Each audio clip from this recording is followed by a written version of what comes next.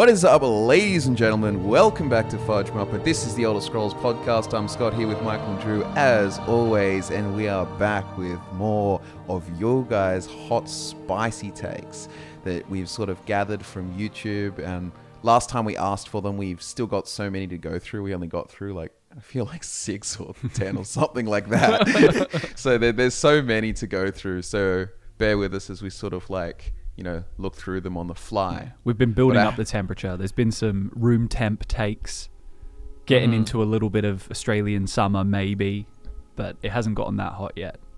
Not yet. Well, here's we can start off with one that's just I'm going to disagree with immediately, but it's fine.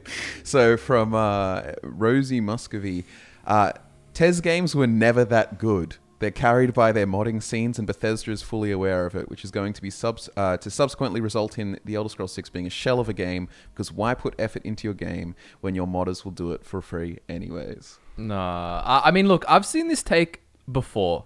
Like, I've actually seen this take a lot, and it's because the modders in the Elder Scrolls scene are so good, right? Like, they are good. They do help people get longevity out of the games. But I don't know about everyone else watching, but I personally played a lot of Elder Scrolls with zero mods hmm. for a very long time.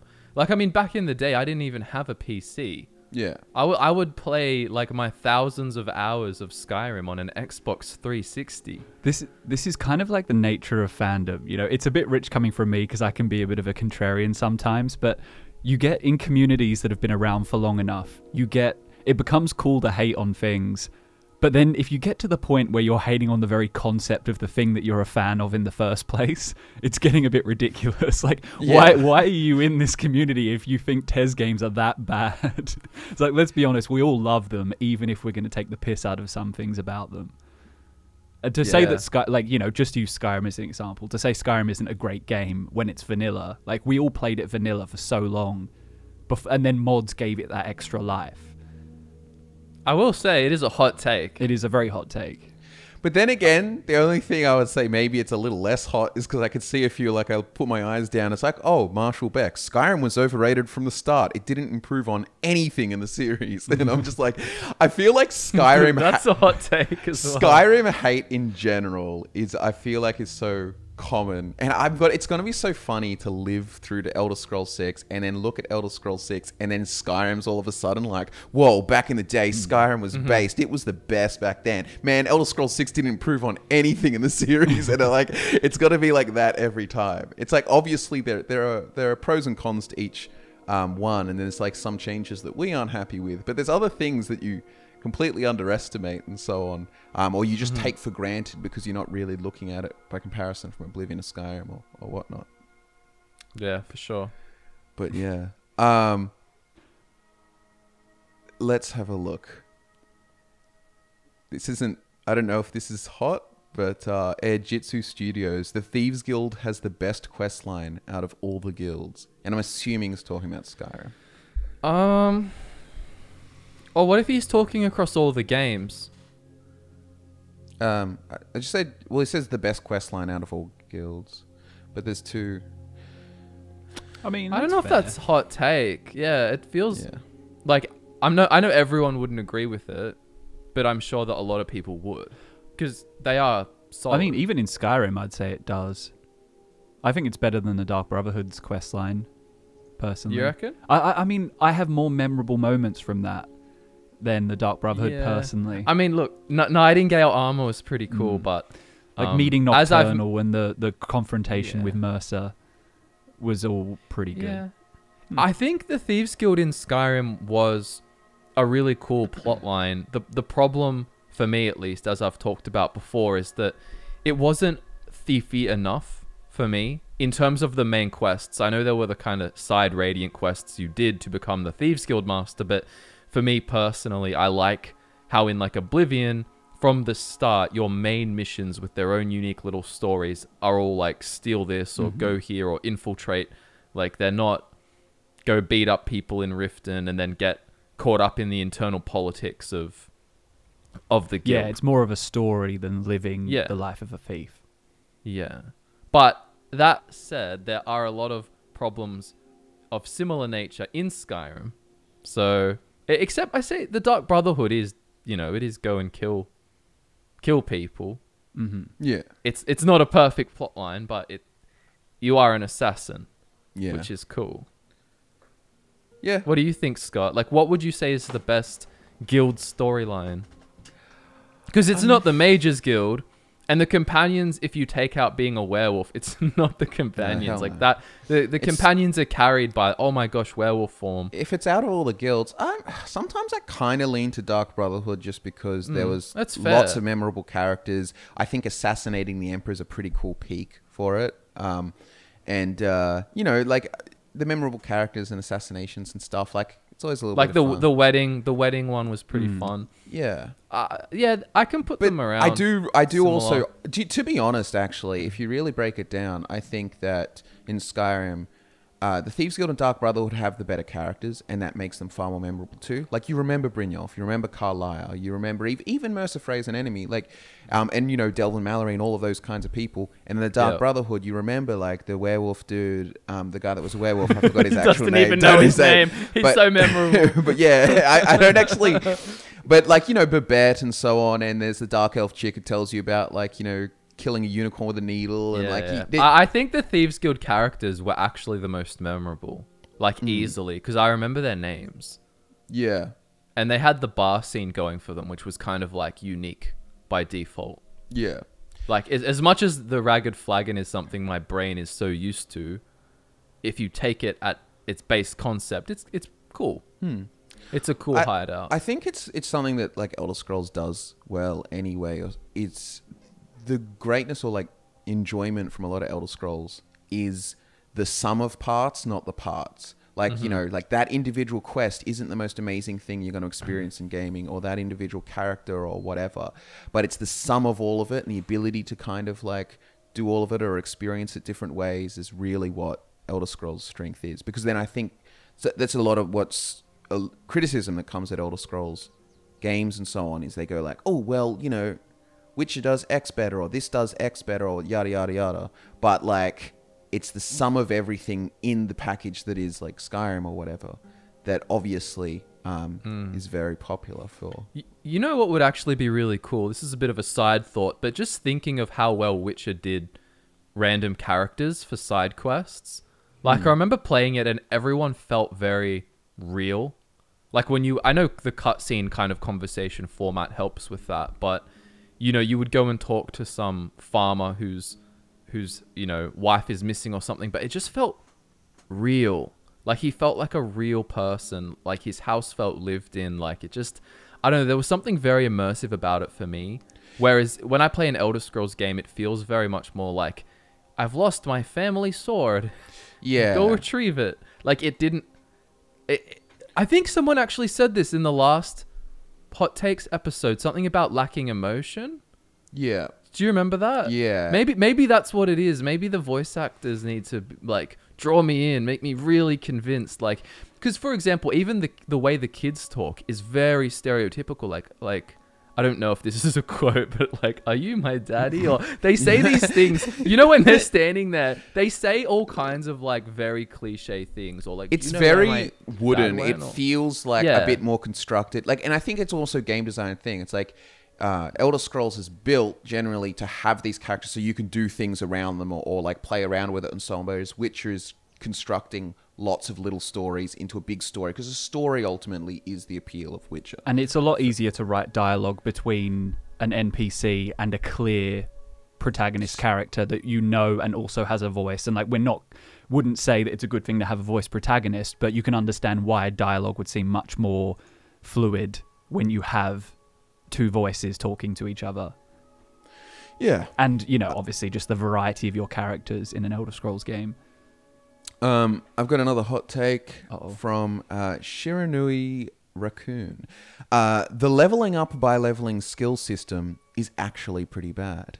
It's a cool twist on the XP formula, but ends up doing more harm than good. It limits your progression based on the race you chose, a Khajiit For example, having 10 more points in stealth and archery will cap out faster than an orc in stealth archery. It's very easy to exploit, punishes you for not min maxing your skills in the first levels, discourages experimentation by making you atrociously bad at the skill you're low level with, and makes you reliant on trainers so you can keep improving the skills you don't actually use. Having skill ranks is great, I just think your actual level should be improved in another way. Maybe a Fallout New Vegas style could do wonders. I mean, I actually really like the way that Fallout has handled quests and XP. I Um, because yeah, uh, there sorry. there are heaps of problems with the Elder Scrolls format, like heaps, and that's why when people say, "Oh, in a future Fallout game, we should have level by doing," I'm like, "No, like, absolutely not." But in the same way, I don't think I can ever see Elder Scrolls switching to that, just because the level by doing system is so loved by fans. I mean, I like it. it's it- I, I, but I'm also aware that there are these issues. yeah, there's an immersion um, part part of it that really like sells it. But I have I have seen it done differently in other ways that I enjoy more as well than I do even the Elder Scrolls version. Like I've in um, uh, Bannerlord two, the way it sort of works is you have like all of your skills, and then you have like little points at the bottom, like like five bars, and basically like each bar you fill up, you spend a skill point on. Um, I think it marginally increases the skill, but it increases the rate at which you learn the skill. So it increases, so like, so say if you have, you know, five in um, s- swordsman or whatever, and you pump it really early, you will then like get that like um, speed up or one handed or whatever it's called. You will level up. So imagine if you got like alteration or so on, you start off, but then you started pumping points into alteration and increases the rate that you actually increase your alteration skill at.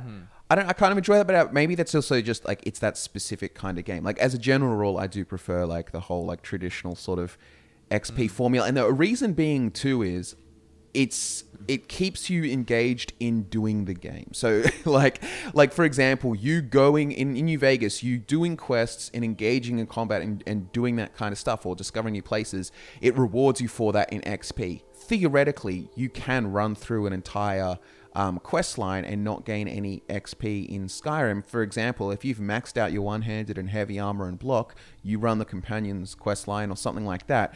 You're not. You've kind of got a natural cap. You're doing all of this stuff, theoretically getting more experience, but you're actually not getting any level back or any skill because you're not using those things. So eh, Agreed. yeah. Um, Agreed. So sometimes and then it can encourage that kind of grinding thing well it's like i'm going to sit here and train that thing and it's like on paper you know sometimes there's cool experiences with it but a lot of the time it really does come the, down the to reality a grind. is yeah the reality is you end up standing in front of a giant with his mammoths holding a shield in one hand and a restoration spell in the other Mm-hmm. wearing a certain brand of armor to train three skills yeah it, i mean like at least that's what i end up doing at the higher levels because you can't level up anymore Yeah. unless you go out of well actually the legendary system kind of addressed that a bit because you could let like yeah you could yeah. start with skills again so in a way that, But that was- i guess and then, but that was kind of weird in itself too It like, was weird. the way that worked it's like oh you're a master at destruction and now you're not start again and yeah, it's, it's like, Call of Duty Mm-hmm. prestiging or something. It just doesn't quite, it doesn't quite work. yeah yeah Maybe they could do it without having to actually start again somehow. Like your damage doesn't go up, but you somehow get more experience, so you could still level. yeah Mm. I, I um It's it's a weird. Uh, there's already in my head all these different balances and checks that you'd need to look. I guess here's the conclusion to that one. There's no perfect system. Um, there will always be a trade-off, whether that trade-off is immersion, or at some point, you know, your character things can feel a bit out of balance, and you need to address that. But yeah i um it's it is what it is. Yeah, I hope. Like, look, the fact is they're going to keep it for Elder Scrolls Six. Um, I don't, I don't mind it. Like, I enjoy it. Like, but I do think other systems are still better. Anything that combines the the actual experience of leveling up and all of that combines it with the the core of what your game is. I guess is um, far more interesting. You know, like doing quests and so on. And It it also provides, I think, for some more interesting scenarios when and if they do add more choice to quests.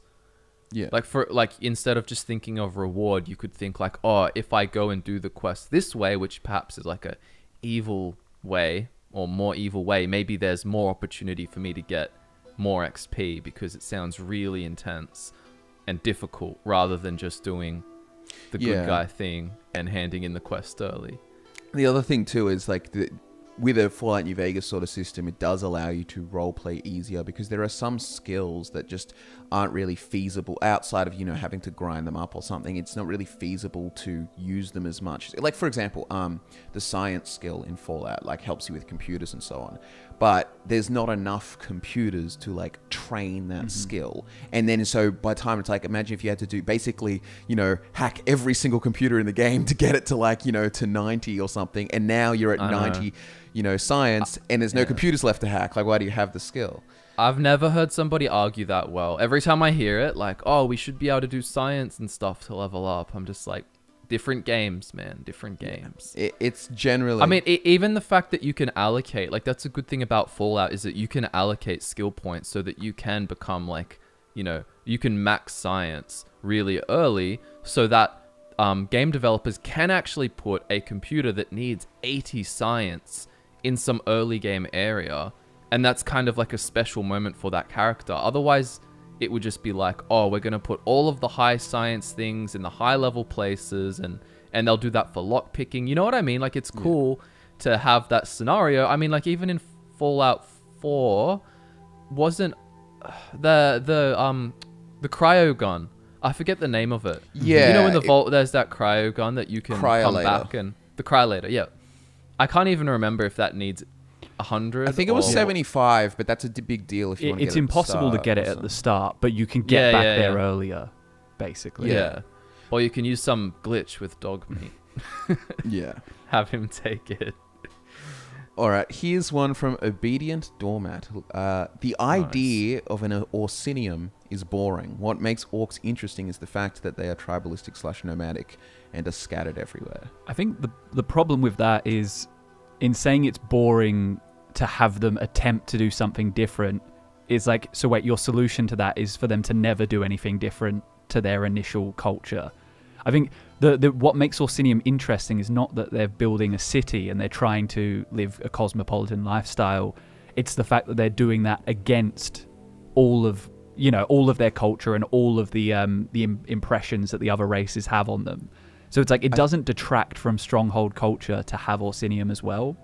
And I think too, if you kind of, re- if you just imagine there is no like Orsinium never was, and it's just always just tribal orcs and so on, um, it removes the sort of like uh, dynamism of, of the culture that there's like different ideas emerge, and here comes Gortwog, and he's got this idea of bringing together everyone under Trinimac, and and you kind of remove the culture. It's like making everything sort of one note. It's like if every single elf on the Somerset Isles was exactly Thalmor, like most stereotypical, they could become boring, or you know, you want that sort of even the doom to fail aspect of it gets removed, which is kind of interesting. That because it's not like Yeah. if Orsinium exists, strongholds don't. You can have mm-hmm. both. But this idea that they constantly throughout the timeline have tried to build this Orsinium and like things keep going wrong for them, and then you know there'll be this whole idea when they build the next one, like what's gonna go wrong now because this has never stood the test of time. You know, and I Yeah. f I, f- I feel like that even makes them resilient in a way and it's interesting that they're so resilient and adamant about trying again And uh, like personally, I, I just think it's so cool that you um, that Orsinium, the, the kind of like there's that dynamic between the sort of tribal orcs and, and the sort of Malacath kind of thing, but they're trying to sort of resurrect the sort of idea of Trinimac, the sort of pre-corruption kind of thing, and that becomes like the champion figurehead of this sort of civilization or what they could be. I just kind of like that sort of um, dynamic as well. But I think if it was just, you know, Malacath orcs running around, um, I don't know. Contrast is good. It's good in cultures to have cultures that aren't one note because then ultimately they become not too distinguished from goblins, really, or something like that. You know.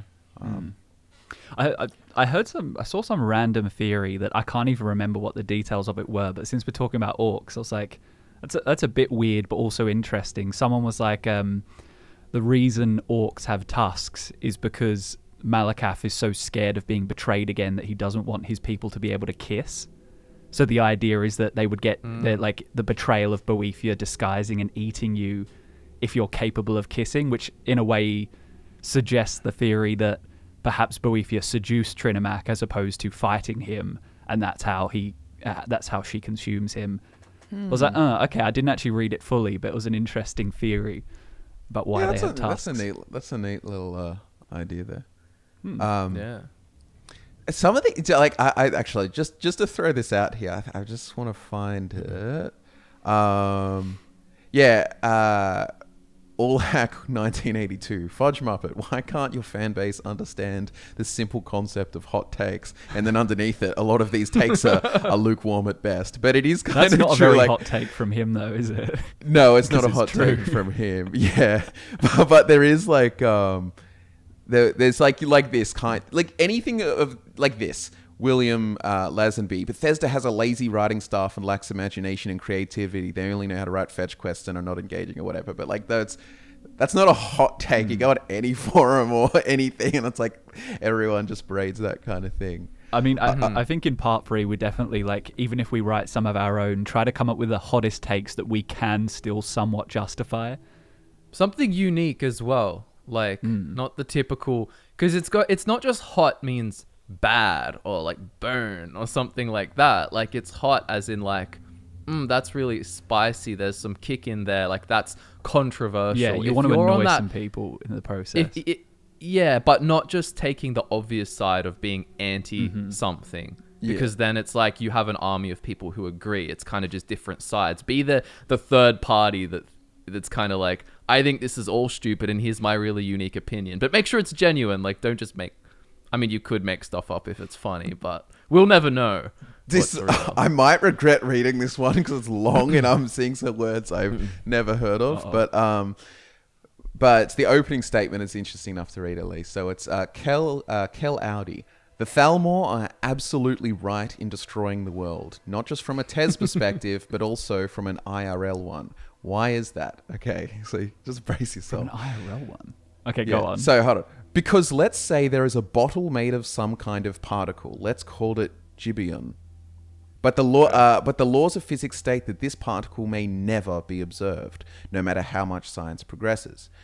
No matter what kind of technology we develop, we will never get to interact with it. However, it does exist, and in fact, this gibbon bottle exists at all times next to the reader that is reading this. But the reader will never see it, never touch it, never interact it with it, or uh, know about it in any kind of way. Now, does the existence of the gibbon bottle matter?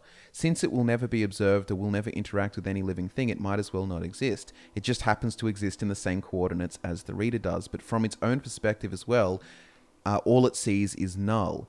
It's only uh, it's only the bottle in an eternity of nothingness. But where does the scale of the gibbon bottle end? Does gibbon house matter? Does a gibbon earth, an entire universe made out of gibbonous matters? If there is nothing to observe, I'm regretting reading this one. there might i had regret from the moment you began yeah, the only reason the universe matters is because we're here to observe it. By that I mean all living things. Now, on the other hand, if we're all f- if we're all conscious to be clumped together into an the, po- the infinitely point where small you start just reading to yourself and not even to us anymore Yeah, is it's where kinda- you've lost it. Ah, hold on. Try and summarize that point Okay, really, to be honest, this was a really convoluted way of trying to explain. So the end part was saying like this clearly means that matter and the demiurge is nothing more than a prison IRL as well, and we should all strive to return to. So basically, he's just declaring I'm a Gnostic IRL, and Gnosticism is a good thing, and basically like undoing the world or whatever is a good thing because mortality is a prison. Like like a lot of Elder Scrolls lore anyway, like the basic stuff is based on the sort of um, Gnostic sort of ideas that God is basically like a bad guy that created this world and trapped you out of this spirit kind of thing. It's know? exactly like that scene in Spy Kids 2 where Steve Buscemi is living in his little hut because he's afraid of all the creatures. That's ba- that's basically what he's saying, right? But well, yeah, well, look at let, let's get to the essence of what he's saying. He agrees with the Thalmor's plan because I guess the idea there is that like the unmade world should be un, unmade. It's just mm-hmm. basically But isn't that like yeah, it's a subjective idea. It's not like this objective there. like yeah. it is hundred percent a prison that's inherently bad. Well, it, ch- right? it changes depending on what your values are. Like a prison, just being like really, when you boil it down, is like limitations. So it's limitation of Well, I have or whatever. limitations. I have physics. Is physics my prison? I mean, but that's, kind of the yeah. argument. That's that's kind of what they're saying is that like everything, any the, one of these limitations are a prison. But I would argue you kind of lose all mean when every it's kind of like you just become one with the nothingness. I guess. Do you know what I mean? Like, or It's weird. I, I feel like I can be hyper aware of existential things and like any meaningless or anything like that, but at the end of the day, I still find it like easy to accept and then just look at myself and be like, well, I'm going to enjoy my subjective existence for what it is. It's- It's time for the like- existential dread part of the podcast. no, like I, just I just I'm just not it's not like I don't avoid it. I'm like hyper aware of any of that. It's just like, okay, and what? Yeah, mm. and it's like the, you know, there's like the whole like sort of ignorance is bliss kind of argument, and everything is a reference range. Like even even any subjectivity is all based on like you know you sort of the subject experiencing the thing. So if you're i- if you're not aware of these outside experiences or whether this is fake or right or whatever, it's kind of like living in the matrix. If it's a if it's a very pleasurable life, it's like, is it a bad thing? It depends what you value. It's like, do you value truth more or do you value like happiness more? But like, I wouldn't necessarily go that like truth necessarily is like the highest moral good necessarily. You know what I mean? Mm. Like, because a lot of truth, I think a lot of truth would be that really cold kind of like, oh, everything's kind of meaningless, or, or like, you know, nobody cares about you type vibe things. Not that that's true. I just mean that, like, that's the kind of, you know, existential dread. It basically takes you to, to that sort of Bro, level. you gotta hold two beliefs at the same time. You gotta Yeah. understand that in in its entirety, and then just be like, nah, but I am. That's achieving hmm. CHIM. You gotta achieve CHIM. You gotta look at the face of all that nihilistic crap, understand it, and then just you know, Chad face no, and you know, you gotta live your life. Yeah. Like it doesn't I don't know. Like I wouldn't say it justifies their plan. I feel like it's just like depends what you think. Look, I think if the Thalmor came up in the real world and they made it clear their ambition was to destroy the universe, I've got a feeling this guy probably wouldn't join their ranks. Yeah. no no matter how convincing their their evidence Mhm. was. yeah. Uh, I'll, I'll be a champion of mortality on this one. Um anti destroy the world. Hot hot take. I don't want to destroy everything. Um, I actually have a hot take from Brazen Cyrus, and his hot take is that Imperials are his favorite race, and he was a bit upset that we ranked them so low. I feel like that. that He is- says, that's "I a think I throw," but he says, "I think I throw too much into the bin of Imperial, like the empires and Cyrodiil itself." But I think Hmm. a case could be made. I was seething during the races ranked podcast. I think that's over fair. them being at the bottom. It, it is fair because their history is arguably it's up there with the most interesting of all of the races. I think we kind of said that Mm. though, didn't we? Uh, I mean, well- I, I know I've said it before that if you include all that, then they're very I think interesting. this is what we maybe it was the last hot takes one or something. We were sort of getting in conversation. I was also suggesting maybe, and it's kind of hard to do, like we sort of said, but like it's really hard to divorce like the race from the culture. Like if you were just talking like at races of what's interesting, it's like Argonians and Khajiit win in terms of like biology and stuff, but that's not what really factors in. Usually people aren't talking about like you're not talking about oh it's so cool that dark elves have grey skin and red eyes and pointy ears. It's all of the culture and stuff that's around it and so on. So to be fair to Imperials, all of that culture is very intertwined um, with them. So um, All I'm thinking of is that that meme you put on Twitter where it was like Fallout lore Hmm. and then it was like Elder Scrolls lore and it's like all the like flashing Yeah. stuff except it's like I don't know one of the other races and then it's like Empire's lore and it's like flashing all through and you see like Reman and Talos and all this stuff I, flying I, I, past. overall, I do think I do think that's a that's at least a uh, hot take that most because most would disagree with that. Like most would I- be like, I think Oblivion and Skyrim, like without shitting on either of them, Oblivion and Skyrim did a lot to take the magic out of the race in question. So you know, a lot of the Nor- a lot of the magic about the Nords that you would have felt in, say, Morrowind, once you actually see what their uh, province is like, and once the limitations of game design get put on it, it makes them. It probably makes them rank lower than they would have before, and the same could be said of Oblivion with the Imperials. Yeah.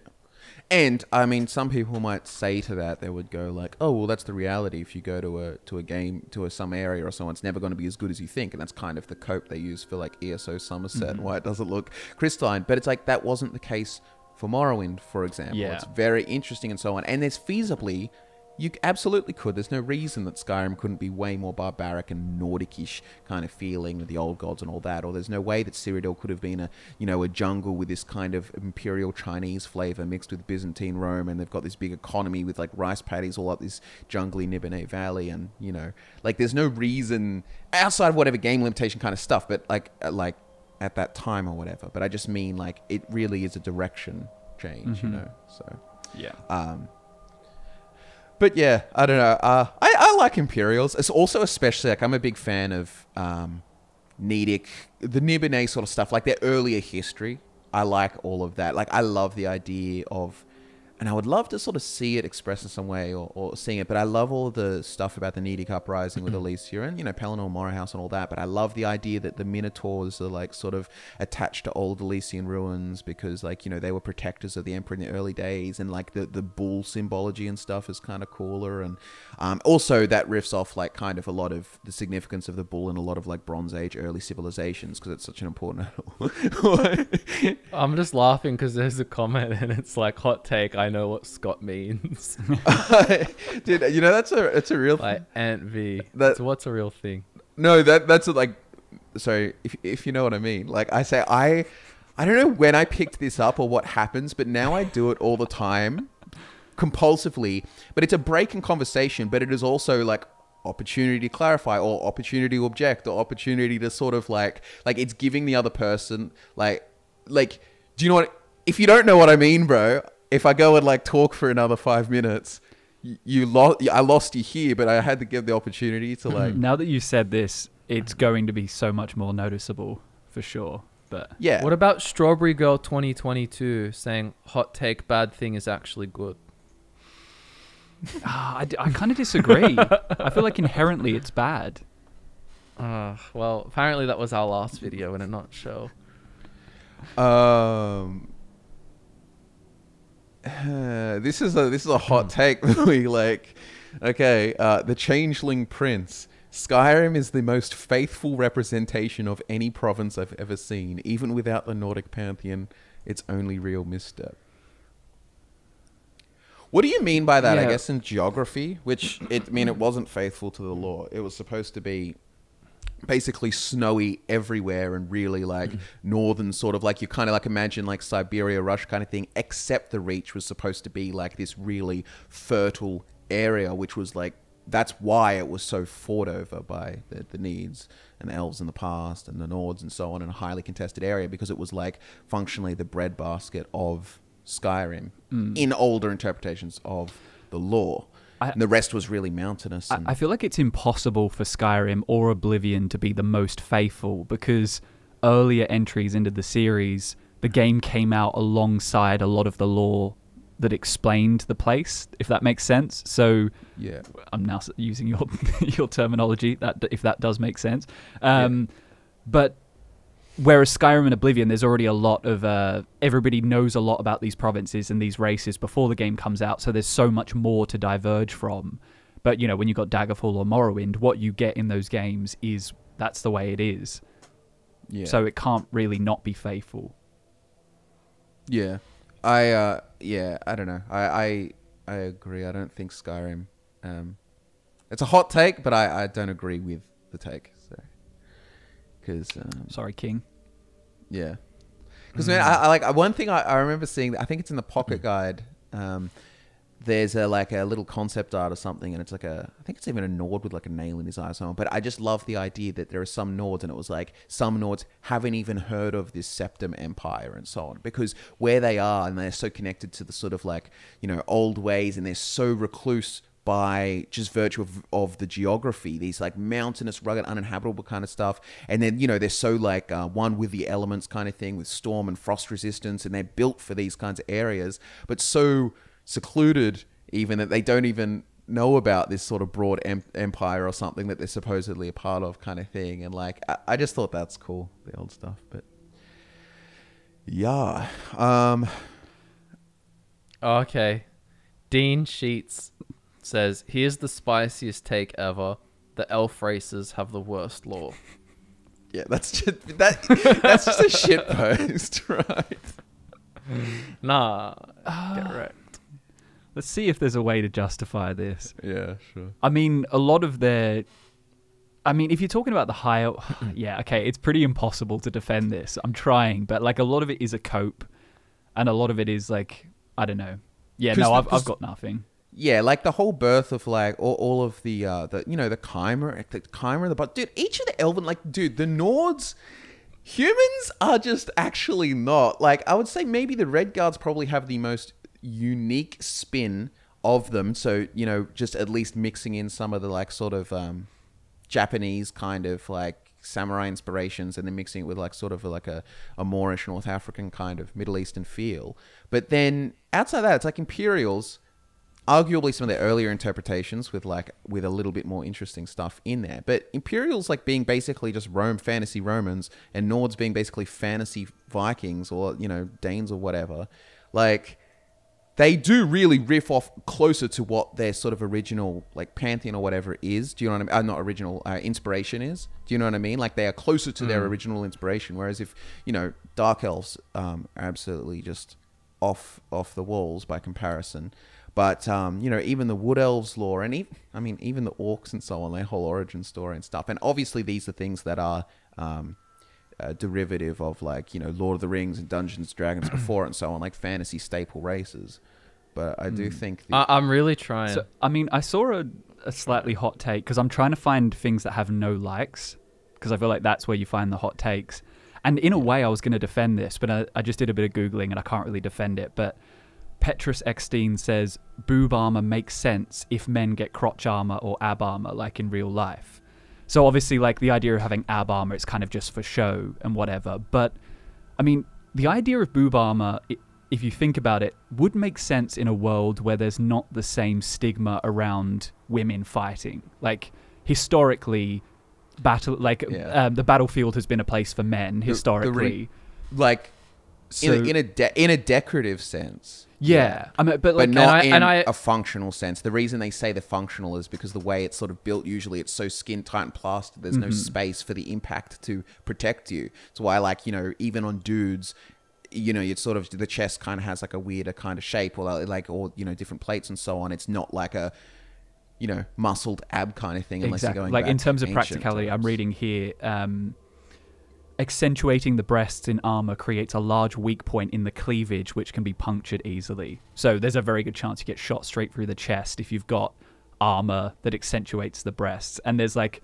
I've even found an image of like a South Indian 17th century breastplate that has like proper proper titties on it. Um, and it doesn't look incredibly practical. So But to be honest, too, like you could, I mean, theoretically, if it didn't obscure things, but you know, you take your classic like grass kind of thing that that's sort of like you know it peaks out a little bit or so on, but just attach two boobs to the Yeah. to, to the front of it, and it wouldn't necessarily in the same way that people I mean- have those ridiculous cod pieces and stuff. Mm-hmm. For I guess this is what the guy's getting at that it's not. But then it would be ceremonial. But Yeah. Not- like you'd have to think like only not ceremonial in the sense that it's not practical at all, but in the sense that it would be rarer, right? Like it's not like every person in the military in armies was wearing ab armor. Yeah, well, that's the thing. There's a big thing about like, um, you know, there's a real thing in armor. It's just to be intimidating sometimes. That you know, that there are some very uh, impractical things that made it onto the battlefield purely because it would scare the shit out of the opposition. yeah, and Yeah. and people back Which then and, boobs and aren't throughout history. You know. and in the Elder Scrolls, really ceremonial. Gods are really important, and also it's fantasy as well. Like, I mean, look, to be honest, if you're in a realm where like there's things like you know Daedric armor and glass armor and so on, I don't think it's too much of a stretch to say that they might ceremonially put breast representations on the front or whatever. But there is a difference. I get what they're getting at, but I feel like you can do both in the same way that the the Greeks basically gave themselves a six pack on um, a bunch of their uh, armor or you know yeah. so on. And then I, I feel like it's fair on on. I can imagine them coming into battle and there's some like you know queen and maybe if there's any high ranking like female officers they would have it, and then your kind of run of the mill infantry they don't have it. yeah, Mm-hmm. yeah, for sure. Um, okay, let's have her. This isn't a hot take, but it's a really good take, so I just want to say it. but uh, Lotat is Hungry says they really need to include sub races of the already existing races. The beast races would have so much more diversity than what we already have available. But I 100% agree, and I think it is something that would be we, we made a video recently on um, the racial perks for Elder Scrolls 6 or an idea of a perk tree or so on. And obviously, my preference is always going to be more diverse races to begin with. And I don't mind being a little bit more pigeonholed in, but I was sort of like creating a sort of system working off the parameters Skyrim's already made. Um, but I really like the idea of that you, oh, you know, like orc, and then you can pick sub race, and it's like sort of like a city sort of Orsinium Trinimac kind of vibe orc, or a Stronghold Malacath orc, or or you can pick, you know, if you could be the different race sub races to a degree. Like obviously you can't be like an Alfiq, but you could of from the Khajiit, but you could be like the taller variety or, or the sort of smaller variety kind of thing, or Argonian. You could easily be like a Naga or something, or just you know more traditional kind of one. But then also like you know you have Colovian or Nibonese, and you know the the the Nordic ones. You could like East and West or um, Redguards, Crown Forebears, and they could just be small like little abilities or, or or skills and so on that just further allow you to define your character. I think it's it's a really cool um, Hmm. Idea. Now I'm gonna take it back to breasts because Okay. uh, I was just looking at the armors, and it's not like they do it on every armor. Like it is the better armor sets, you know, that are like rare and special, right? Like I'm having a look now. Like Ebony has it, like Elven has it, but Elven is a very ornate looking, beautiful thing. If you go look at like Iron Armor, there it's designed differently like it looks like there's a bit more space in the chest area but it's not like there's two two spheres hanging off it. I mean same as steel. Look at what lydia wears. It's not like there's two spheres hanging off. Like i'm just trying to give them hmm. some credit. They didn't put it on on everything. I mean steel plate has it a bit too much i think but like even Yeah. like you know it's it's i don't think it's that that severe maybe people are thinking of mods they've seen too much i don't know like it's it's on pieces of armor that are rare like glass has it to an extent but again look at what See, glass I wouldn't armor be is I wouldn't be surprised too if if you actually look like a ESO and so on. And this is, I guess, my critique. A lot of ESO armors. It looks very like close to the skin. Any armor, even on the guys and so on, and like anyway. Um. So and then with the boobs, they can be a bit more um, pronounced. Welcome to the Oh. Elder Scrolls Titty Cast. Today we're talking about titties again. Boob yeah um, huh. I'm trying to find. i love watching people seethe about your elder scrolls online armor takes you make people really because Oh, yeah. one episode you'll be like oh they're just too like bulky and over the top like world of warcraft and then you'd be like oh they're just too tight to the body like they're just Yeah, it- I- I- I basically- Uh, I yeah, re-clarified agree. that, and I'm going to re-clarify it for everyone again. Yeah, here, yeah, yeah. Is the best word, or what I'm trying to get at, is not necessarily like bulky or whatever, because some are and some aren't. Like some of the helmets are big and so on, but it's a manufactured look. It looks like it's made in a modern factory. It looks mm-hmm. like a cosplay. That's how I feel. It doesn't have the sort of like texture or build that looks like it's made by a blacksmith in it. There are exceptions. There are some good armors in ESO, but a lot of your base ones. If you go into the character creator, you flip through the races and you like, oh, heavy armor, so on. Tell me, I'm t- tell me I'm wrong. like, I mean, you will tell me I'm wrong. If you disagree, you just flat out disagree. I can Not already see the do about comments it, but- talking about Skyrim armors that look like they were made. Yes, some of them, some of Skyrim's armors do as well, but I think on the whole, um, you know, they don't. But uh, let's keep having a look. These aren't hot takes. eh? These are theories. Yeah, yeah. These so many are theories. They're just like, um. well, he's a hot take, but we're immediately just going to be like, whatever. But like, uh, Oeva Ner- uh, Nurminen. Um, Delphine is actually a real badass, and she deserves more credit for her service as a blade.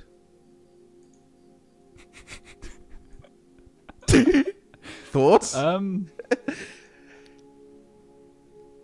I think she's just straight up, it's just kind of. I think people don't like her. She's annoying, but like really, she kind of. I guess she stole the horn of Jurgen Windcaller, which was kind of impressive. I guess, even though it doesn't. I don't know, but she just makes dumb decisions, man. Like the whole Paarthurnax thing, I kind of think is a bit dumb. Like it's not like she's even had heaps of experience with the dragons. Uh, do you know what I mean? It's like a, yeah, I don't know. Not sold. Hot take though, I guess. Mm-hmm. I mean, there's Like, not there's not much to work with. It's kind of just a poorly written character with a whole lot, not a whole lot going on. So you kind of have to head headcanon if she was cool at any point, really. The- I I don't know if this is a hot take or not, or maybe it'll be more common, but um, I can like literally just say the top, the first line instead of there's a whole explanation afterwards. But um, Ben Bittinger says Jyggalag is overrated, and I tend to, I basically, I think I I mostly agree in the same way that I think sort of The reason I don't think he is is because he's not really rated much at all.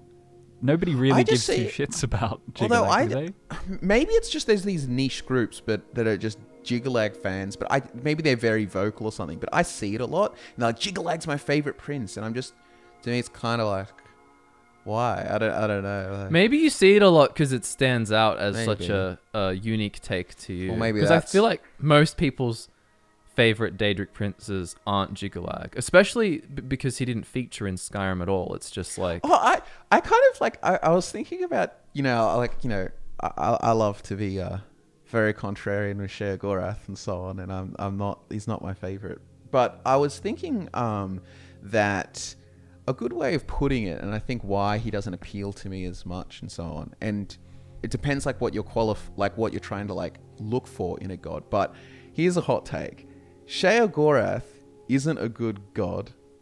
He's a good character he's a when you experience him in oblivion he's a character like for me uh, like what i find interesting in gods is usually their sphere their sort of like you know origin stories and stuff like that Sheogorath has some of those to be fair like he's not like i don't think he's a bad god or anything like that he has one of the w- best origin stories of all Daedric princes. What are you talking about? uh, i don't know i kind of like i even kind of like Malacath's and stuff more and like Yeah, there are other but- good ones, but, but- it's up there. But the other thing that um so getting well, what's his sphere? What's he represent? I'm a crazy. It's literally anything, kind of. You know what I mean?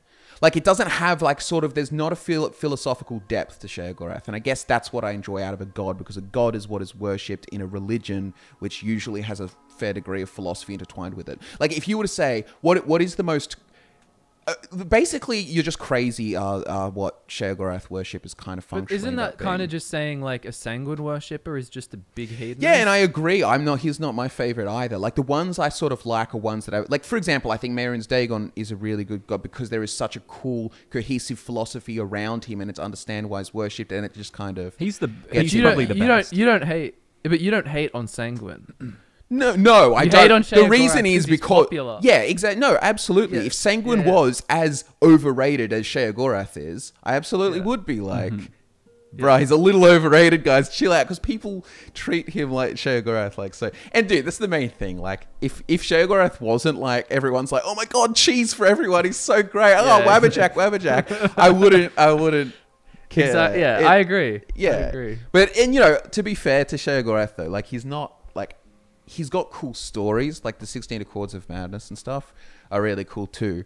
But I just think, you know, especially even the time of Morrowind, no one until it was Shivering Isles and the sort of like Wes Johnson sort of Scottish whimsical kind of character that you that you experience, he wasn't. I don't think he'd be anyone's favorite outside of that, mm. and that's fair enough. But I just feel like if other princes had the same sort of treatment and you got to experience their whole realm and, and everything like that, and it was given the same Yeah. detail. I mean, you could say that about lots of things. Like even Dagon Hmm. is so much cooler because of the Mythic Dawn and the experience in Oblivion. Yeah, yeah, for sure. But like, there's just still I, I feel like Dagon.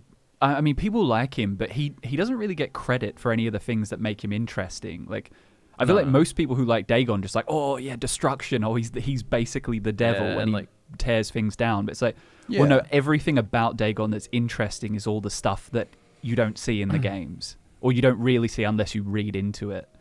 Whereas. Sheogorath, yeah, like I, you could argue the same for Sheogorath, but what you do, I guess see to me, what- the the the god. What interests me about gods is the well, like their function as a god, as in an idol to be worshipped or, or sought after or, or whatever, how they function in a religion. That like God and religion is kind of the same thing. It's kind of the argument with like a Dwemer, like they don't see these great beings, powerful beings, as gods. So like technically, they could be considered atheist because they don't worship, they don't treat things as gods. If you understand, as a universal. Do you think? entity. Do you think then a god of insanity or madness then just can't work? Because I feel like the the concept about it that you don't like is just inherent to what it is. For, for example, like he does have in Mania and stuff, you know, there'll be like some crazy artist or crazy this and and maybe people think that they use their insanity to produce cool things. Um I but I'm just trying to think like does everything have to be super utilitarian and like oh I worship this god because I get a lot of No, no, no, no, no, no, no, not utilitarian. philosophy. It's not about utility. Uh, uh, no, no, at of the all. philosophy. I mean, no, but not even the utility the philosophy. Like, because some people are just brought into philosophies or so on for Yeah. different reasons, or just born into them or so on. But I just, I guess it is just ultimately is like I find some of the most interesting things about gods is the is the religions that they spurn after or the beliefs that they go after. Whereas, whereas basically it's just anything goes with Sheogorath. Like if, if if I was to describe like what's a cult of Sheogorath look like, it's usually just oh, we're a bunch of crazies or whatever. Do you know what I mean? It doesn't have the same sort of like you could create really cool cults for basically all of the Daedric princes. Um, and you know, even Sheogorath, like this is the thing. I'm not like actually like because I can speak about it. People assume like I'm saying he's the worst. I hate him and so on. I'm just saying it's mainly, I guess, just compared to a lot of the other princes. Um, he the reason people like Sheogorath so much is because he's a good like character and he's really interesting and his realm is cool. Like, it's fun and whimsical to talk to and so on. But um, his actual like religions around him or the philosophy philosophies around him aren't um, interesting to me. But what's the philosophy around Dagon? Oh. Besides besides the stuff that we know as kind of Well, people the studying mythic- the lore. Yeah, but that's what I mean. Like all of the Mythic Dawn commentaries and so on, and the idea that he is the sort of like vehicle. I really like some of the Order of the Walking Flame stuff, or some of the ideas that he's the he's the vehicle for like some of the Magnus worshippers um, enjoying because to to tear down this sort of creation, this world. But I mean, at so the end on. of the day, I guess my point is, And I mean, we just did the Mythic Dawn podcast. I understand what his sphere is. I'm just saying a lot of his followers, their philosophy is very like, I hate the gods, down with the system. Like it's yeah, it's but the Mythic Dawn cult as a whole is just They don't cool. understand. no, but the ex- fuck that's- Camoran Dude, is saying. themselves. They, they That's just think literally it sounds cool. how many people know what's in the Bible. I know. Christians do not read, not necessarily like read the whole Bible or know it all and so on. So it's the same premise. But if anything, to me, that makes it more interesting because it's a realistic levels of like understanding or Yeah, so on with course. it, and it makes it a more interesting sort of organization.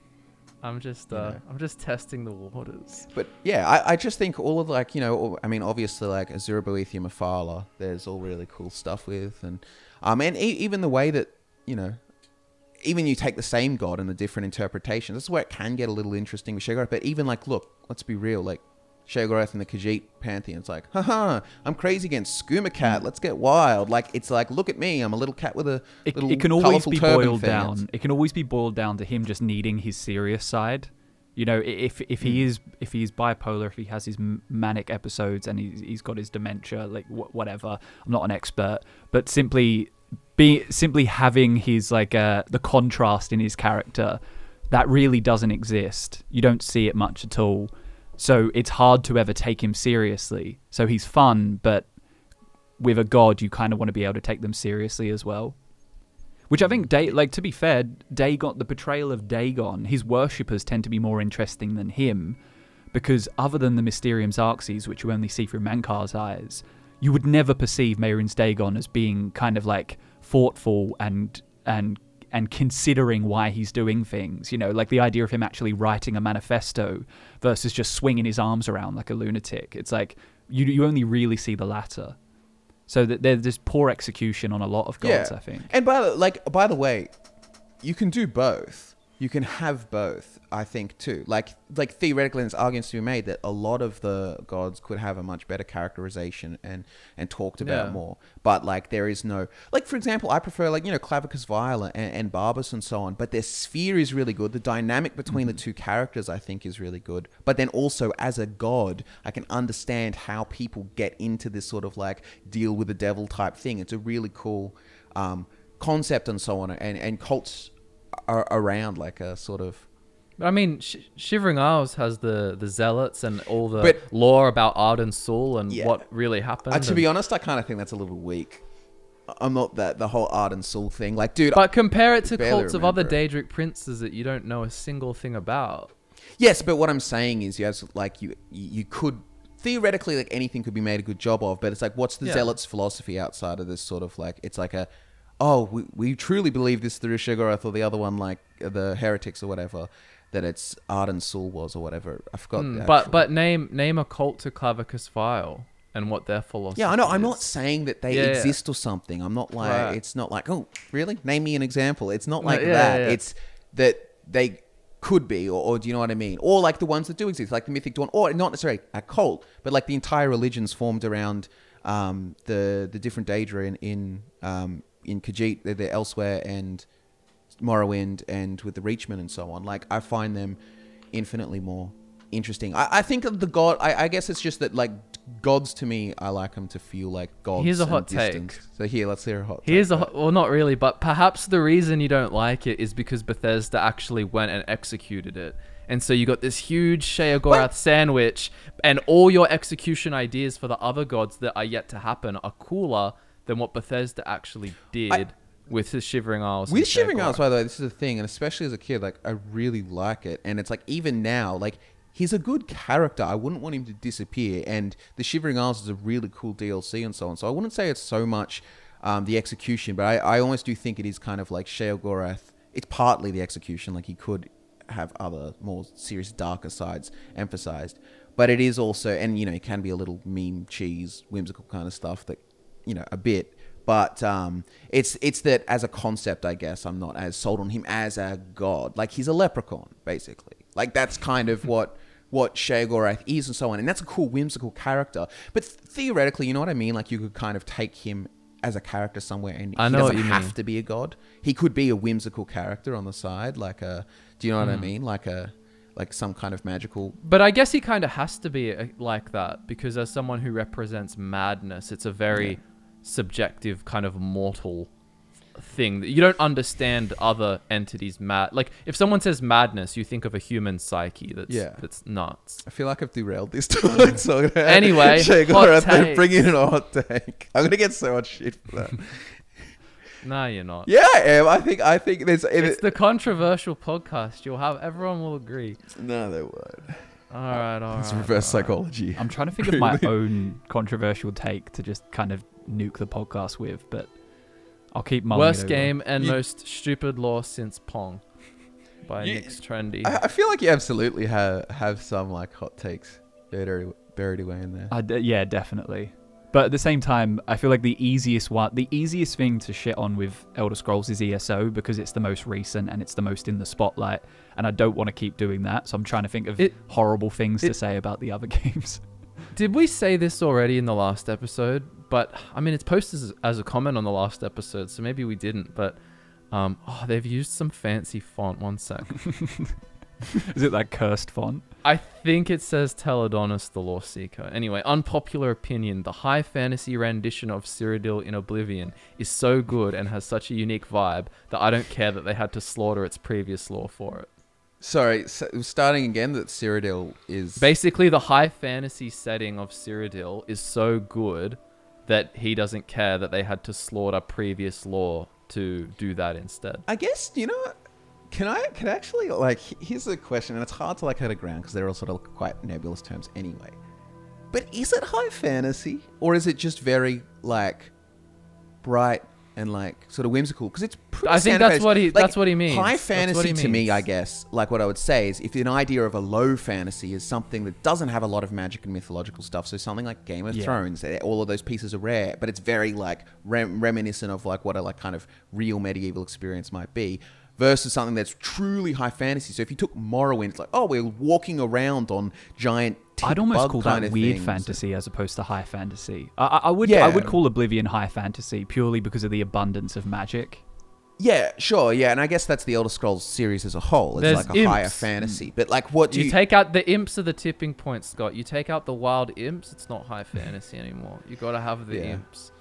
But anyway, yeah, I but guess what- his point is in in general is that the the setting of Oblivion, whatever we want to call it, he doesn't care that it's is gone better. from weird hmm. fantasy to Look, I'll, I'll a take it a step further. I think Oblivion is just a cheap, shitty version of Two Worlds. Did you ever play Two Worlds? Oh, I vaguely remember, like, I vaguely remember reading about it in a in like one of those old Xbox magazines and so on, and looking, oh, maybe I want to get because isn't that a terrible game in it's, terms of yeah, it's like it's god awful. but to be honest, I only played a little bit of it at a friend's house, and then I watched a speed run of it recently, and it took like f- five minutes, I think. but then Oh, it's actually funny though. I'm looking at it now. The biome though, the biome does look quite I, similar. th- I think Two Worlds was the a straight rip of Oblivion. Uh, I'm, if I Oh, know my did it lore, my IRL lore well enough. Uh, I've, I'm seeing a lot of big palm trees here though that don't look like Oblivion. shit, all, maybe it does a better job of kind of like a tropical Cyrodiil. They than were trying. They were. They were trying to do. I mean, look, Oblivion environment, everything, and for the time and so on is all very um, enjoyable. Um, but um, no, I still prefer the like crazier thing. As a kid, and this isn't some, I uh, this isn't some like uh, um, elitist like I'm older now wankery or so on. But like I've personally, and I think it just comes down to taste thing. But I've always been drawn to really weird looking thing like my favorite you know like that's why i think what really got me with like star wars like the cantina kind of scenes and tusken raiders and all of that kind of different looking stuff and i think that's what grabbed me about morrowind when i first played it. It's like it looks so interesting like movies like um dark crystal and and, and stuff like that and eh, just anything that's a little bit i really i've i really like um like a lot of like puppets like even if you know like movies like um uh the La- uh, labyrinth with like david bowie and and um forgot the girl's name Jennifer Connelly, Anyway. I think. yeah, Jennifer Connelly. Yeah, but like those kind of how it has that kind of really weird, kind of uncanny Mhm. element and parts. But I've always been a big fan of that kind of um, look of things. Um, and I, I generally, if something's a little bit different or alien kind of worlds, but I really like fantasy as well. So I don't, I, and I like where they intersect basically. But yeah, Mhm. We need another hot take. Hmm. um, okay. The Um, elves, the elves look awful in every game except Elder Scrolls Online. By average thing I like, enjoyer. I think that's the difference between liking like and I I think I generally do prefer the more alien look or something a little bit different looking versus the sort of humans with ears look. But it's just a taste thing, I guess, right? Come on, hit us with another hot take. Um I need my. this is a hot take. I just want to. Oh, it's not really hot take. Fish gaming. If you think about it, orcs are objectively the worst race ever, as they're actually mutated by a pile of Boethiah's poop. They also worship a guy who got beaten up, eaten, and crapped out on the dirt, who went then on to be the angriest guy in Oblivion. I think by definition that would be subjective. like, I, yeah. I mean, what the wor- using the term "worse" there is very broad. Like, yeah, I don't know. I, am not going to go to to bat for the orcs, but I don't know. I think they're the, I think they're one of the mo- one of the more interesting races, which should give some brownie points. Yeah. Um. I mean, I did see one Yeah. where someone was like, "This is fairly basic," but someone was really. I've closed it now, so I can't name who it was, but was really keen on the Dwemer returning and being like the focus, and it essentially being as if they just all rematerialize as if nothing had happened. But I feel like we can shoot That's- that one down spicy. instantly because it's just like, no, we don't, we don't want that. I feel Yeah. like it's like the Dwemer. It's like the reality of knowing them. They're just all like this sort of, I don't know, I mean, it plays into kind wearing of edge lords. yeah, it's a bit of the it's been a bit of a theme with this podcast is that the more you put something under the microscope, the less interesting and magical it has become in the Elder Scrolls. It it does happen that way. Like some of some of the most beloved parts of the lore are the things we don't know a great deal about. You know, like say Akavir as well, or you know, and the fact that there's And- so many mysteries surrounding the Dwemer. it's it's kind of like fantasy's job too. It's like to inspire wonder and like kind of like kind of tying back to what we were kind of talking about before about the idea of truth. But it's just like if you know the indisputable truth of what happened at Red Mountain and all of that kind of stuff, it becomes less interesting. What is more interesting is all the theories about it. Like you know, it's why like a lot of those um, you know ancient history theorists and so on and why that becomes more interesting is because you know less about it less concrete and it becomes such a oh, could this have happened? Maybe that Uh, happened, and like you know, A, a magician never reveals his truth. yeah, exactly. Um, and that's a big part part of um, the. Once you one- know how magic trick's done, it is not interesting. You're just yeah, a loser. Not. um, But- I mean, I think honestly, I think one of the hottest takes, which I'm not going to necessarily say I disagree with, but one of the hottest takes I've ever seen in the Elder Scrolls community, I think, came from you, Scott, in the form of a video where you said Elder Scrolls is. I can't. I, I don't want to misquote it, so you correct me, but it's Yeah. the greatest world building of anything ever. Is that essentially what you said? Uh, yeah, Oh, I mean, I had a video. Yeah, universe. it's my the the greatest fantasy universe to me, and I think in terms of well, of take world the to me out of it and defend it. to me, Yeah, or it's not ever. to- just say- Oh, just I say would just it say is. it is the most. Um, it, it is built because of the nature of it, and even like arguably, like absolutely, it's because of lazy writing here and there, or people have different ideas and so on.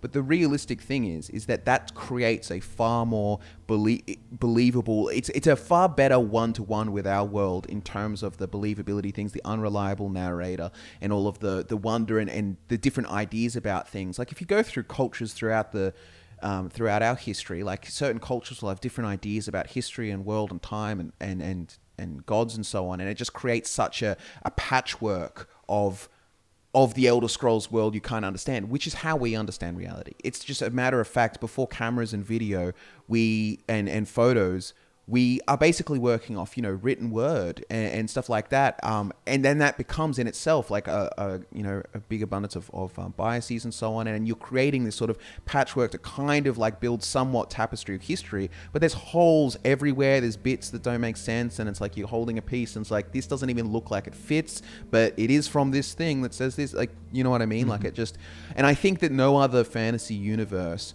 creates that the same because most come from an authoritative um, perspective. Yeah. So even, for example, Lord of the Rings, which, which is where you're going to get great. the most pushback is from that community. Yeah, but Lord of the Rings, it's here's your Bible. It's called the Silmarillion. This is exactly what happened. Bang, there you go. And here's the story. Bang, there you go. Which is fine. It's like that's how lots of things are told and so on. But that is not representative of like what our like real world experience is. So the uh, for me the big appeal to it and what makes it so great and so compelling is Elder Scrolls is that it is kind of like our real world. There is so much of a mishmash of different um, things, an unreliable narrator, and there, there's wiggle room for theories and so on. Like I'm sure there's Lord of the Rings theories in gaps and stuff, um, and you know same as there are in. Um, uh, well, I, I think I so you probably know this. Like Song of Ice and Fire uses unreliable narrator somewhat, I guess.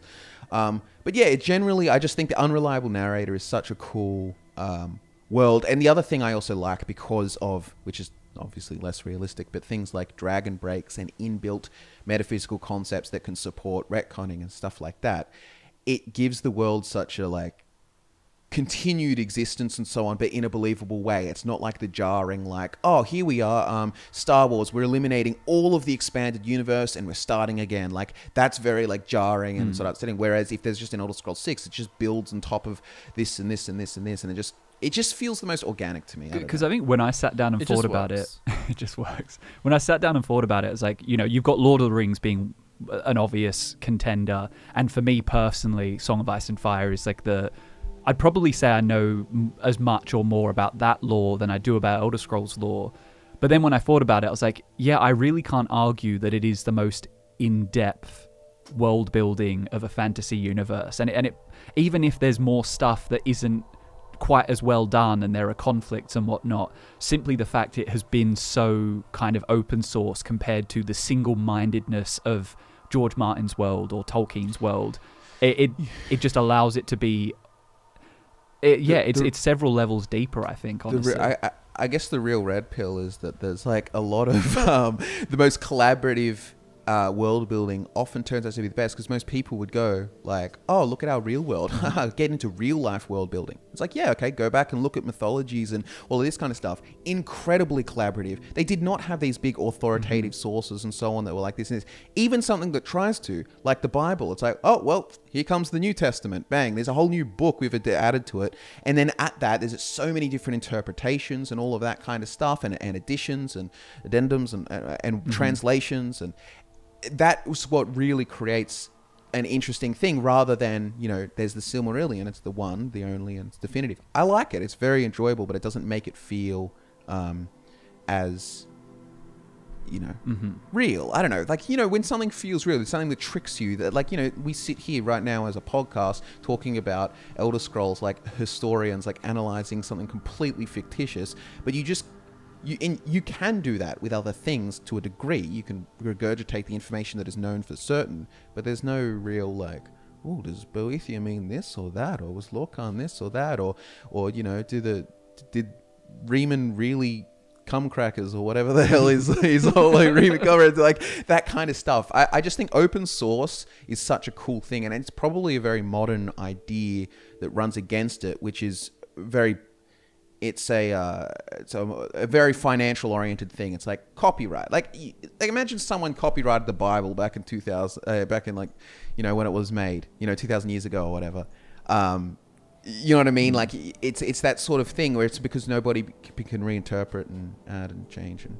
I don't know. I just lo- I like the org- organic growth of things, and I find it very interesting in history and culture and so on, looking at how certain beliefs and ideas sort of organically grow through mixes of things. And yeah, I just think Elder Scrolls, It's pretty cool. All right. yeah, Yeah. so good. But um, I feel like Michael's raring to go with a hot take. oh, okay. Oh, sorry. I thought you you're just raring to go. You- All right, Michael, you're Oh. on the spot. Give us a hot take. yeah, what's your hottest take, Yeah. Michael? Oh, like me personally. Yeah, you like, personally. Like, what do you think one? would rustle the most jimmies? Think about it for a second while I just Whoa. comment on guys on this on this podcast in particular. Get down into the comments below, and we want hot takes, as in they inspire controversy. Like, if you think I'm saying this thing, and I'm pretty sure 80% of people agree with it, it's not a hot take. Yeah. We want to be glad that the dislike bar is gone. That's how bad we want it to be. Because we want you to put us in positions where we have to really like, you know, discuss and talk these things and out ourselves as people who disagree with you. So, um, but yeah, I can't. Uh, I can't? feel like. Well, I mean, I've I've said a lot of hot takes, and I've said a lot, um, like well, not hot takes, but my personal takes on things. I'm I I, I do share them, and I'll make entire videos about them. So I'm I'm just trying to think. one what- thing too, I'll, I'll just add, we should um, clarify, guys, keep them um, a little bit more lore oriented because in lore takes and stuff and subjective things about that because to a degree when like there's a lot of comments here that it's like oh you know like it's not actually a good role-playing game or actually custom spells will work and all of these kinds of things it's like they're cool but you kind of they get i don't know boring discussing the gameplay things after a while um but yeah so just keep them i guess more lore oriented what's the Uh, I just ca- I can't think of anything legit. I can only think of things that are just like jarring and silly. Like Mephala's just a bit of a boring spider, Right. Daedric prince, and like it really is just like you play up all these elements I of he- like like what she's about, but really in reality she's just a big spider. You're I'm just trying to prod you, bro. There- well, here I've actually got um, something that could inspire a bit of discussion. Here's a hot take. I'll pretend to. It's not necessarily a hot take. hundred percent I'm all for, but it's like I kind of like can imagine someone else saying it. I'm going to say it, and then I'm going to somewhat agree with it. Okay, so the hot take is, um, I think Elder Scrolls being derivative is to its benefit, not to its detriment. A lot of people go like, "Oh, I really like, um, you know, X Y Z thing" when they go really crazy with the world building. But I think part of the reason it's also a great universe is the it being derivative in areas and then expands upon it in its own way and so on helps ground people in things. If I, it's like if I was starting a new a story or something, and I say to you, harpy, this is a harpy or something.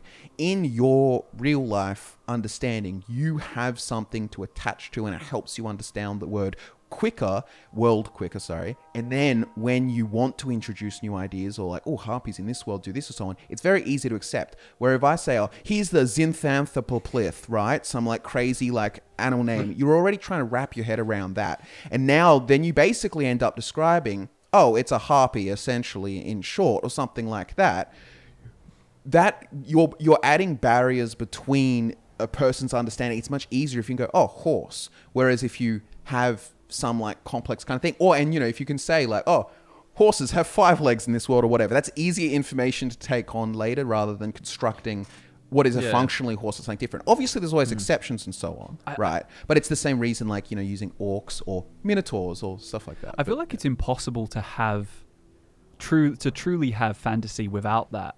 You know, I I don't think I could ever think of an example where I mean, obviously nothing is original, nothing is Hmm. truly original. But Elder Scrolls, I'd argue, does one of the best jobs at at seeming completely original to the point where it can actually be difficult to see where the inspiration comes from unless you have a lot of experience in a lot of different areas and you know a lot of things. Like, um, Well, you can- they're much less obvious about it And then when they do, one- they take Sorry, it in on. really different directions. Using the orcs as an obvious example, they are very unlike orcs traditionally in fantasy.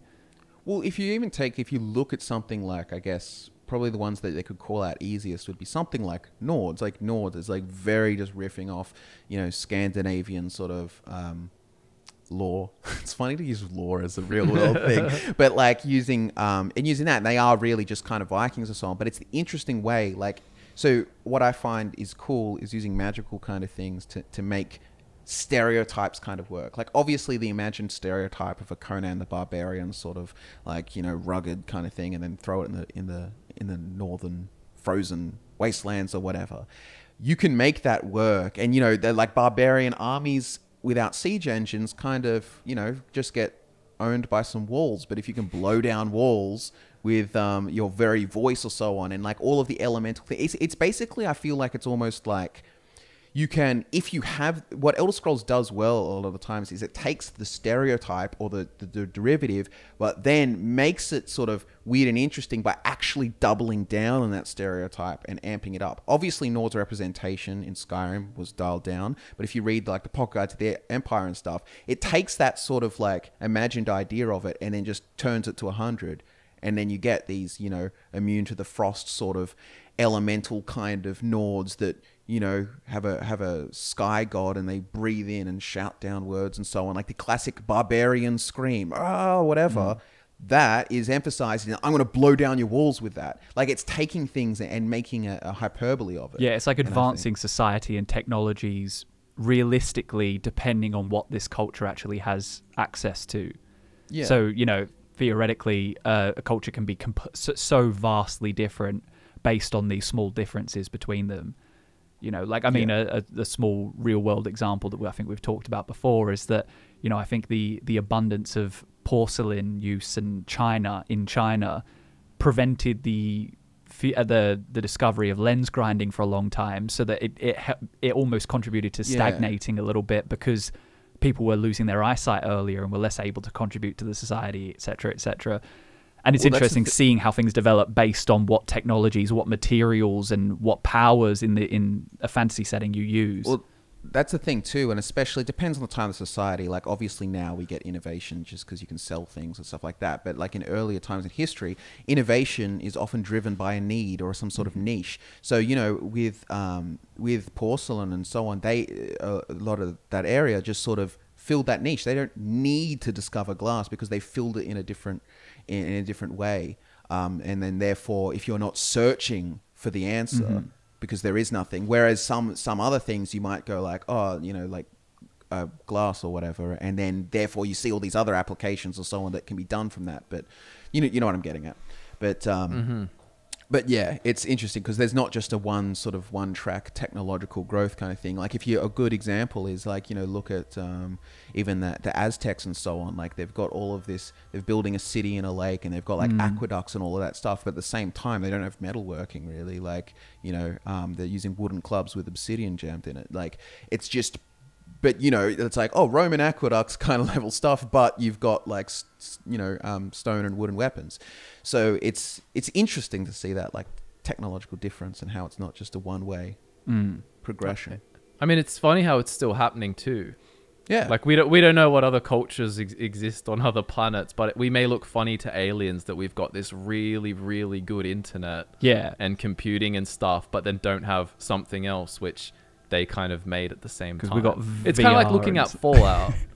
oh my, yeah, like look at Fallout and how that universe basically like what was it? They didn't make the microchip, so all the computers and Yeah, stuff were like think super was old school. Like it's it's a nice play on tech. Ti- uh, I think I saw a TikTok recently. There was a guy I was telling you about a car, right? That it- that that Americans were America was late to getting chips in their credit cards or something like that. But basically, they can't just transfer money using like their bank or whatever. They use Venmo and like and Cash Apps and stuff as well. But like that they couldn't just people can tell me about it in the comments i'm sure but you can't just go oh open your banking app and go boop send it from bank Wait, you to mean bank now? Oh no, you can. I think now, it's slow. surely. Like now, it's come in, but I think it was Wow, a while or in parts. Like I don't know. I, it was a TikTok I saw recently or Hmm. someone. It was someone having a culture shock f- coming Yeah. from America to, I think they were in like Finland or something, and then traveling and so Hmm. on. But but sometimes you just you, you're not actually fully aware of all of the the different. Hmm. Things I don't know. People can tell me if that's a meme that I got TikTok memed, but Yeah. but They it, just- it's well, they very just I think they just pay each other in nineteen dollar Fortnite cards. yeah. Um, Who wants it? we, we've come so far from the hot takes. The hot, the Yeah. hottest take of this video is calling it the hot takes episode. um, uh, this uh, this isn't a hot. Um, Ranger Rizzo says, as much as I love the Elder Scrolls, the lore is better than the games themselves. I'd rather read about the lore than play any TES game. Agree. Per, that's just Um, me. That's I- just me. I re- well, I really like the games, but I still rather read about lore and theorize about lore more than the games. But I have to say that is because I've played Skyrim Hmm. thousands of times and Morrowind and Oblivion. Like I've done it to death. So the point where it's naturally going to take it. Like I imagine when Elder Scrolls Six comes out, I'm going to be like way into playing the game. If that makes Yeah, i for sure. And I think that's fair. Like, yeah. Yeah, I, I think I'm It's not- more in love with the lore now than the games because yeah, I just kind of get tired. I I like a ton of genres. I I play a lot of games, so I just generally stop playing older games, but I still like maintain my love for the Elder Scrolls because of the lore. Um, so like I'm almost in Elder Scrolls 6. I'm excited obviously to play it and I'm excited to have a new playground to make videos in um, you know, casually and for work.